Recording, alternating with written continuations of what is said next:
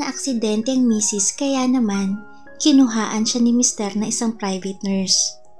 Maging marupo kaya si misis sa gwapong binata? Mararahang katok sa pinto ang nagpabalik sa kasalukuyan ni Minda habang malungkot na nakatangaw sa durungawan ng kanyang silid. Siya ay tatlong buwan ng baldado dahil sa isang aksidente sa kotse na kanyang kinasangkutan. Tuloy, sabi ni Minda. Alam naman niya kung sino ang kumakatok. Ang mister niya na si Charles. Silang dalawa lang naman ang naninirahang magkasama sa bahay na iyon. Limang taon na silang kasal, subalit wala pa silang anak. Hi Minda, can I come in? Tanong ng kanyang mister. Marahan naman siyang tumango. Tuluyang pumasok si Charles, subalit hindi siya nag-iisa. Sumunod na pumasok ang isang lalaking sintangkad nito. Nakasuot ng puting damit na tila isang nurse. At sa tansya niya ay naglalaro sa 20 hanggang 22 ang edad. Gwapo ito kung tutuusin. Sino siya? Nakakunot ang noong tanong ni Minda.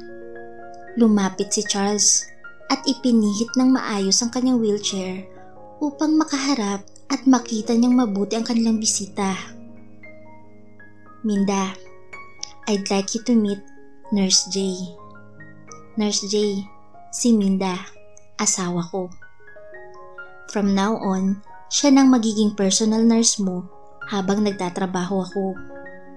I have to go back to work, Han. Paliwanag ni Charles. Kiming ngumiti si Nurse J at inilahad ang kanyang kamay kay Minda upang makipagkamay. Nice to finally meet you, Ma'am Minda. I'm Nurse J po. Matabang na inilahad naman ni Minda ang kanyang kanang kamay at nakipagkamay ito. Iho, maaari ka bang lumabas muna? Pag-uusap lang kami ng asawa ko. Utos ni Minda. Tumalima naman ito at lumabas ng kanyang kwarto.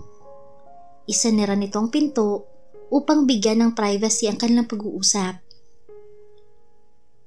Bakit mo naman ako kailangan pang kuhanan ng private nurse? Pwede namang ako na lang. Kaya ko naman. Di naman ako lumaking baldado talaga so alam ko kung paano gumalaw. Besides, bakit lalaking pinili mo? At parang bata pa siya. Tanong ni Minda sa mister. Minda, hindi ako makakampante kung babalik na ako sa trabaho tapos iiwan kita rito ng mag-isa. Saka wala naman tayong kamag-anak dito sa Maynila na papayag na maging tagapag-alaga mo. Mabuti sana kung sininang norma yan na talagang mapagkakatiwalaan natin. Pero remember, nasa probinsya siya. Saka si Nurse Jane na lang kasi ang available nurse na binigay sa akin ng ospital. Mukha naman siya mabait Pagbigyan mo na ako, Han. Hindi ako makakampante na iiwan kita rito ng mag-isa. Paliwanag ni Charles. At wala nang ang nagawa si Minda. Hinayaan na niyang mister. Sa kalagayan niya ngayon, mahirap nga naman kung mawawalan siya ng kasama sa bahay. Maalaga at magiliw naman si Nurse Jay sa kanya alam na alam nito ang mga ginagawa niya bilang nurse. Walang mintis ito sa pag-aalaga sa kanya. Magmula sa pagpapainom ng gamot sa tamang oras hanggang sa pagpapakain sa kanya. Hindi rin niya inaasahang makakapalagayan niya ito ng loob. Nagsimula siyang magtanong dito ng ilang mga detalye sa buhay nito na sinasagot naman niya. Uli lang lubos na pala si Nurse Jay at nagsumikap lamang ito upang makatapos ng pag-aaral. Bakit hindi ka pa nag-aasawa, Jay? Wala ka bang girlfriend? Minsan ay naitanong ni Minda. Wala pa akong girlfriend, ma'am. Nakapokus po muna ako sa karir ko. Nakangiting sabi ni Nurse Jay habang inaayos nito ang kanyang mga gamot na nakatakdang inumin. Talaga? Bakit naman? Alam mo, mag-GF ka. Sayang ka eh. Gwapo ka pa naman at maalaga. Tsak na magiging maswerteng babaeng mamahalin mo. Papuri ni Minda sa kanyang nurse. Namula naman si Nurse J. Habang dumaraan ng araw, napapalapit ang loob ni Minda kay Nurse J. Marami kasi itong kwentong nakakatawa. Nahuli nitong kiliti niya. Hanggang isang araw, namalayan na lamang ni Minda na nagkakagusto na siya sa kanyang personal nurse. Hinahanap-hanap niyang presensya nito, ang pag-aalaga nito. Ang mga kwento nito na hindi niya kailanman naranasan sa kanyang mister. Isa pa, naging subsob sa trabaho si Charles simula nang bumalik ito sa paghahanap buhay. Minsan, tinangka niyang hawakan ang Junjun ni Nurse J.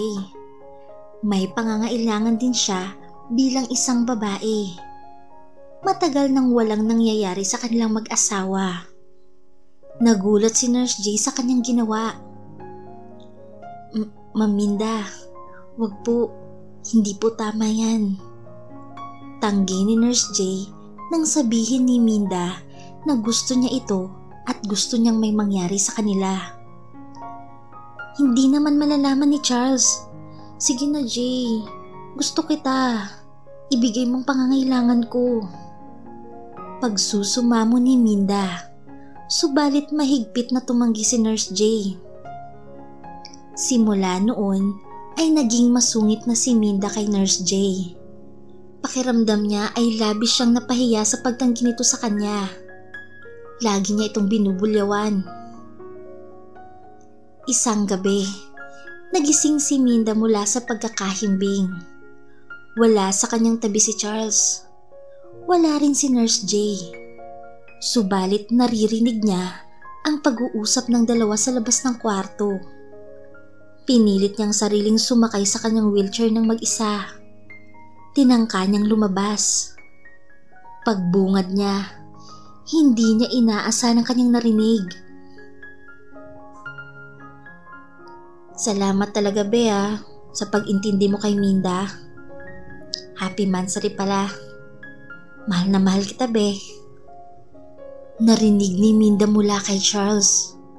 Nanlaki ang kanyang mga mata magkayakap sina Charles at Nurse J. Mga walang hiya kayo? Anong ibig sabihin nito? Halos itulak ni Charles si Nurse J nang makita si Minda. Namumula ang dalawa. Hayaan mo akong magpaliwanag, Minda. Naiiyak na sabi ni Charles. Talagang kailangan yung magpaliwanag sa akin ngayon din. Anong ibig sabihin ng mga nakita ko? Bakit kayo magkayakap ni Jay? At ipinagtapat na nga ni Charles ang lahat. Siya pala ay isang bisexual at matagal na niyang karelasyon si Jay na isa talagang lehitimong nurse. Nang maaksidente si Minda, ito na mismo ang kinuha niyang nurse na mag-aalaga sa kanya. Hindi makapaniwala si Minda na nagawa ng kanyang mister na itira siya at ang kabit nito sa iisang bubong. Grabe. Now I know. Totoo nga ang sinabi ng mga kaibigan ko sa akin. Alam mo ba Charles kung bakit ako na-aksidente? Alam mo ba kung bakit ako nagmanehong lasing na naging dahilan kung bakit ako baldado ngayon? dahil hindi ko kinaya mga chismis na naririnig ko na isa kang binabae. Na hindi ko matanggap kung bakit may mga lumalabas na issue na isa kang bakla. At ngayon, totoo nga. Sinira mo ang buhay ko, Charles. Sinira ninyong dalawang buhay ko. Umiiyak na sambit ni Minda. Kaya pala siya na aksidente ay dahil din pala sa kanyang mga narinig hinggil sa kanyang asawa. Tuluyan na ngang nagkahiwalay si Minda at Charles.